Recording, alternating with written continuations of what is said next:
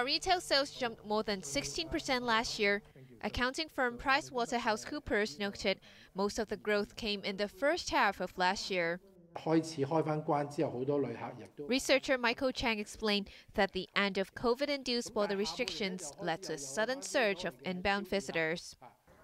They snapped up luxury items, clothing, as well as medicines and cosmetics.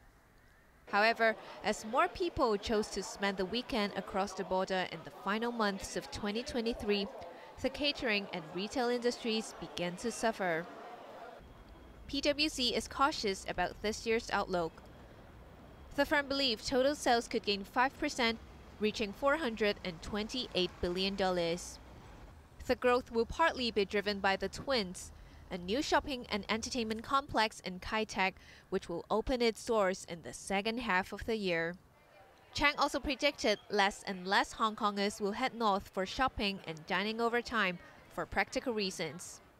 But what I'm, what I'm anticipating is obviously the price differential is going to be shortened or even lessened uh, because renminbi is going to recover. Uh, uh, once the, the US dollar, US dollar as well as the Hong Kong dollar is going to soften because of the weakening of the or, or, the, or the, the lowering of the interest rate uh, in the second half of, uh, of this year.